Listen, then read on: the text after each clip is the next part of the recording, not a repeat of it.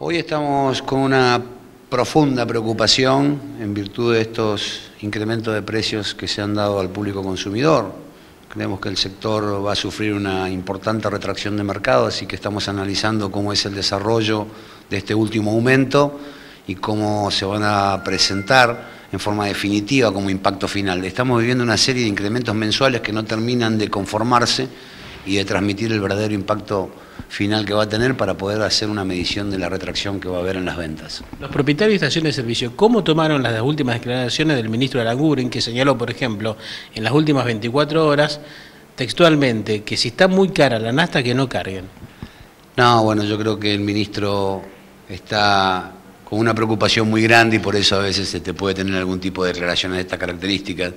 La ecuación que le toca resolver me parece que no es nada fácil, que es una complicación muy importante, manejar la matriz energética y sobre todo la incidencia que tengan los combustibles en la Argentina en esta matriz energética con una especie de subsidio que está teniendo el sector petrolero con un barril para los productores locales a 63 dólares de costo, cuando en el mercado internacional está a 38.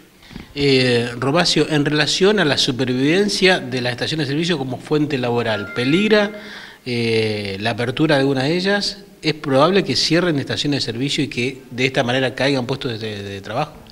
Nosotros estamos muy preocupados porque más allá del contexto de estos aumentos y de la retracción de ventas que puede haber, la provincia de Santa Fe está viviendo una situación muy particular.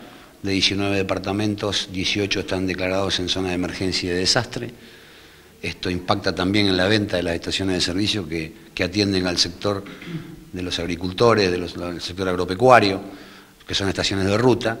Hoy podemos informar que como piso la caída en la venta del combustible de la producción, que es el gasoil, para esas estaciones de servicio está en el 50%.